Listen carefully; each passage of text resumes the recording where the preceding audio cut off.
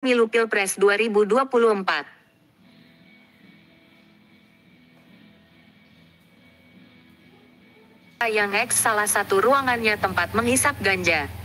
Asteris garis bawah Damai Hari Lubis garis bawah asteris. Asteris garis bawah Kabitkum dan HAM DPP. KWRI Komite Wartawan Reformasi Indonesia garis bawah asteris. Dalam sebuah artikel salah seorang guru penulis Prof. Dr. Suteki SH, MH yang berjudul Potret Bopeng Rekam Jejak MK. Penulis kutip narasi artikel beliau yang berjudul Potret Bopeng Rekam Jejak MK, tentu hanya sebagian narasi, yang mana beliau juga mengutip dari substansial pernyataan hukum Anwar Usman saat menjelang memutus perkara sengketa perolehan hasil pemilu SHPU 2019. Kutipan dimaksud sebagai berikut, terkait dengan tiga prinsip hukum alam ini. Semula saya merasa sangat berbahagia karena MK telah menjadikan ayat Al-Quran sebagai panji-panji dalam menyelesaikan perkara yang dihadapinya. Panji-panji itu sebenarnya menunjukkan bahwa kita tengah berada dalam negara hukum transendental. Ayat Al-Quran tersebut adalah Qiyas An-Nisa ayat 135. Wahai orang-orang yang beriman, jadilah kamu orang yang benar-benar penegak keadilan. Menjadi saksi karena Allah biarpun terhadap dirimu sendiri atau ibu bapa dan kaum kerabatmu. Jika ia kaya ataupun miskin, maka Allah lebih tahu kemaslahatannya. Maka janganlah kamu mengikuti hawa nafsu karena ingin menyimpang dari kebenaran. Dan jika kamu memutarbalikkan kata-kata, atau enggan menjadi saksi, maka sesungguhnya Allah adalah maha mengetahui segala apa yang kamu kerjakan. Kalimat hanya takut kepada Allah seharusnya dimaknai bahwa seseorang hakim harus punya BRAVENESS dan vigilante.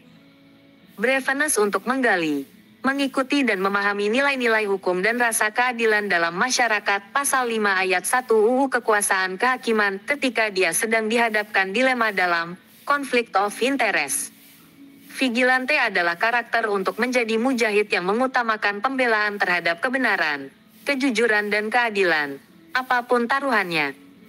Lalu sang profesor antik dengan kenakalannya mirip aktivis hukum, baca, radikal berkata yang benar dan semata bersandarkan objektivitas. Dan memang beliau sejatinya ex-guru besar di Undip. Patut dinyatakan sebagai aktivis, yang bermakna aktif berpartisipasi terhadap tuntutan konstitusi, bahwa setiap anak bangsa harus berpartisipasi dalam agenda penegakan hukum sebagai bentuk peran serta masyarakat. Lalu beliau mengakhiri artikelnya dengan kalimat, Tabik, Semarang, Rabu, tanggal 27 Maret tahun 2024. Adapun artikel Sejarah Hukum dari sang guru, penulis menambahi dengan beberapa catatan berupa dua hal yang terhubung dengan attitude Anwar Usman yang diurai oleh penulis ala jaka sembung bawa golok, penulis pura-pura goblok. Dan satu lagi, sebagai penutup, narasi penulis terkait frasa topik pada judul asteris garis bawah, ganja, garis bawah asteris. Dan sebagai catatan, pastinya kekurangan artikel sang guru yang dilengkapi oleh penulis. Pada hakikatnya justru penekanan terhadap kebenaran daripada suara, kegelisahan atau kekesalan beliau profesor radikalis dan nyentrik terhadap peran MK dalam proses SHPU.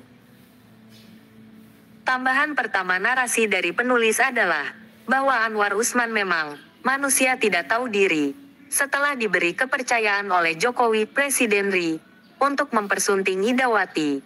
Dengan bukti Jokowi memberi izin serta menjadi wali nikah dari Idawati garis bawah, adik kandung dari Jokowi, garis bawah juga setelahnya mendapat kepercayaan perpanjangan jabatan selaku ketua MK.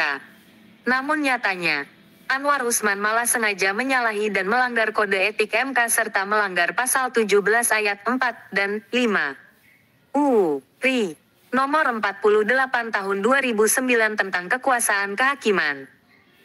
Tambahan kedua kepercayaan dari Jokowi yang dilanggar oleh Anwar Usman.